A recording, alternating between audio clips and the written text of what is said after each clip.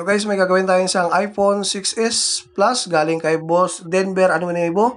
Boss, ito yung unit nyo. Ginagawa na natin. Ayan. Ayaw mag-power. So, titest natin to guys kung ano yung magandang gagawin natin dito. Para ma-check natin. Ang una-una natin ginagawa dito ay tinitest natin lahat ng mga possible way na kung maari ay wala talaga siyang grounded. So, kailangan matest natin kasi pag may mga grounded, hindi talaga mag-work ng maigi yung board. So, ang gagawin natin dito guys, ay test natin kung ano yung mga grounded, tatanggalin natin. Ayan. Test muna natin. 25 ampere. Ayan, shorted siya guys. Ibig sabihin, half shorted ito. Babaklasin muna natin para matest natin mamaya. Tapos, dadaan natin sa scanner para malaman kaagad natin kung ano yung mga sira na makikita natin. Kung ano yung mga dating sira, tatanggalin na natin, papalitan natin ng mga bago. Yun yung ginagawa natin guys. Kailangan bago ang ilalapag para working talaga siya. Ayan. Yan ang pinakamahirap pag mga pag ganitong unit kasi guys, nagalaw na rin siya. May nakita na akong mga flux sa LCD. Ibig sabihin nagalaw na siya, may gumawa na. Pero susubukan na lang natin kung kaya pa natin magawa. Ngayon, ang gagawin natin ay tsatsagain lang natin siya kung saan natin pwedeng hulihin. Ayan guys, galing sa basa to. May basa yung ano niya.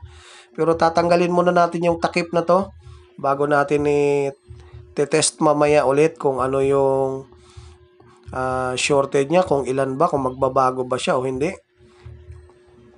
Yung importante dito guys, na sinisilip talaga lahat. Ako ganun ang ginagawa ko uh, sinisilip ko isa-isa kung pwede natin ano yung mga uh, minsan kasi pag may microscope tayo guys nakikita talaga minsan. At saka dito natin iti-test sa power supply kasi half shorted siya. 25 ampere. So ibig sabihin ibig sabihin guys half shorted yan pag ganyan. So kadalasan ng half shorted ay nasa signal section pag mga iPhone So madalas, halos karamihan ng ano guys, na encounter ko dito lagi, itong area na to, laging nagkakaroon ng error dyan, lalo pag mga iPhone. iPhone 7, iPhone 8 plus pababa. Ayan guys, oh, half shorted, mababa mababa lang yung binibigay niya. Napakahina nung binigay niya lang. So, kaya niyang i-block ang power niyan, papatayin yung power. Ayan guys, na-dim na natin, yan yung nakikita natin, masyadong mahina. So, Ibig sabihin, grounded ito. So, yun yung ano, itatry pa natin sa iba guys para baka meron pang iba. Uh, hanapin natin isa-isa. Tingnan natin kung meron pa bang ibang umiinit. Ayan, umiinit. Yung banda, ayun, sa taas may umiinit din siya guys. U2 sa may U2 IC. So, ibig sabihin, dalawa ang may sira nito. Yung U2 IC umiinit din. Ibig sabihin, nasira na yung U2 IC pag ganyan. Ah, uh, sisilipin natin para sigurado guys, para makita talaga natin kung ano yung ibang mga sunog. Itong area na to, malinis. Malinis tong area na to. Ibig sabihin, wala siyang sunog. Sa baba tayo. Ayan, may nakita ako guys na bandang tabi ng amplifier. Ayan, sunog. So, ibig sabihin, grounded ito. Saka dito sa bandang taas. Uh, galaw na yung U2IC. Mamaya, lagyan natin ng rosin flux para makita natin kung uh, yun ba ay sira din. Pero uunahin natin to na baklasin tapos uh, papalitan natin para sigurado. Ayan. Kailangan matanggal muna natin to bago tayo mag-test ulit kung ano pa yung ibang uh, possible na sira. So ito yung mga sekreto dito guys na lagi kagad natin nahuhuli dahil uh, lagi kong tinatandaan kung saan yung mga dati kong mga gawa, lagi kong tinatandaan. Kaya madali ko siyang mahanap lalo na pag mga half shorted na lalaman ko kaagad kung saan nagmumula dahil lagi kong tinatandaan lahat ng gawa ko. Ganun yung ginagawa ko guys.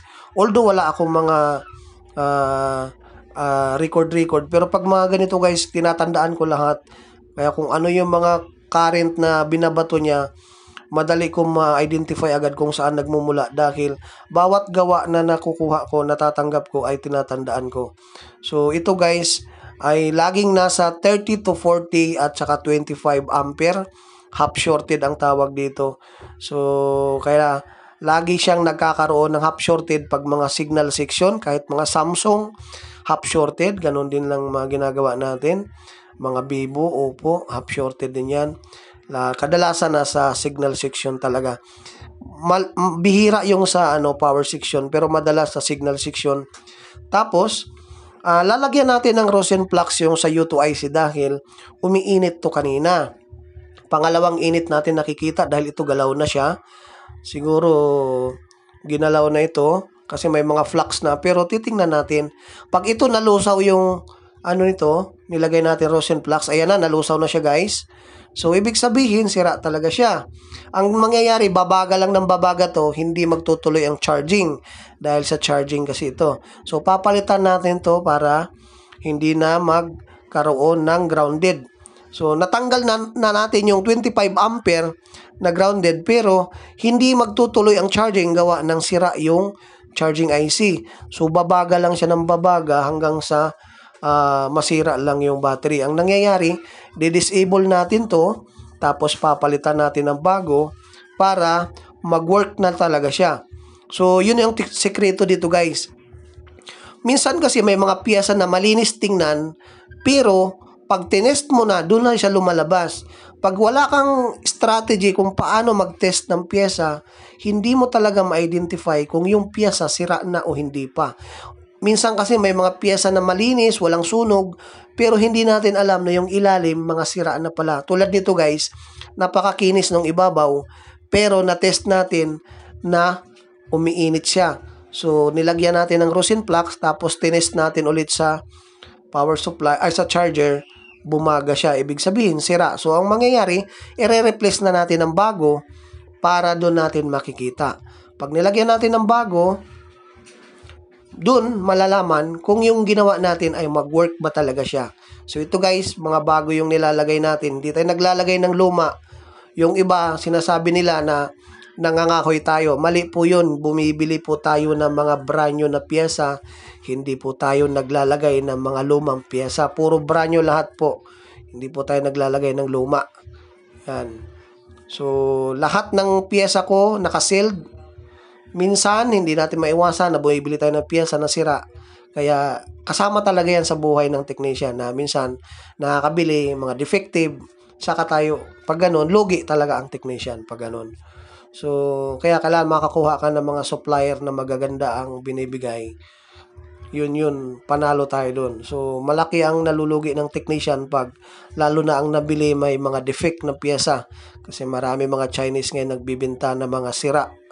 Mga sirang pyesa na binibenta. Although nakalagay siya sa nakasealed siya pero pag binuksan mo nakikita natin kung bago o hindi kasi may mga microscope naman tayo nakikita natin kung yung pyesa brand new o hindi. Minsan, malalaman talaga kung mga nakaribol lang siya, niribol lang siya, malalaman natin na luma yung mga pyesa doon, talo tayo doon. So, dito guys, malalaman na natin sa ginawa natin. Napalitan na natin yung sa may power amplifier at saka dito sa may U2IC. So, titingnan natin kung aakyat yung charging tsaka magno-normal yung power dahil deadboot nga ito. Yun yung procedure na ginagawa natin guys na lahat ng strategy dapat ma-detect natin, malaman natin. Dito guys, pag sira ang board, doon, kahit mga brand new ang piyesa mo, hindi talaga magwo-work. So, pinagbabasihan natin kung gaano kalakas yung kuryente na pumapasok, doon natin mahanap kung saan siya nagmumula.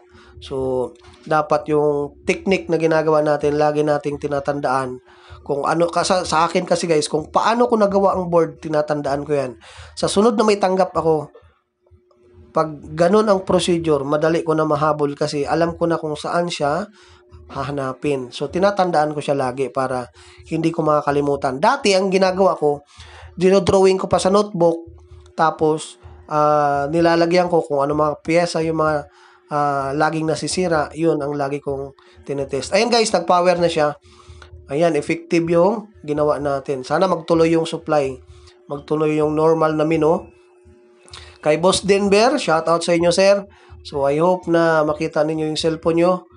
Yan, gumana na siya guys. Kaso may password, hindi natin matry. Yan lang. Bossing, I hope na makita nyo yung cellphone nyo na gumagana na. So, dalawang piyasa ang pinalitan natin dito guys. See you in the next video ulit. Maraming maraming salamat. Thank you.